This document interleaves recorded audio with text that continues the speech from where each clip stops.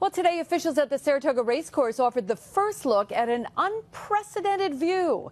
The Oklahoma training track is going to be open to the public for the first time in a decade thanks to a new viewing stand. NYRA and the Saratoga 150 Committee unveiled the Whitney viewing stand this morning. You see Marylou Whitney on hand. Uh, being congratulated. The new spot will offer the public an excellent vantage point so that they can enjoy the morning training ritual. Bet it's a great view up there. The stand is named after the Whitney family and Marylou, as we mentioned, waving to many people, standing next to Christopher Kay, the uh, new NYRA CEO. She says she wanted to share her favorite vantage point with everyone. The Whitney viewing stand will formally open to the public this Saturday.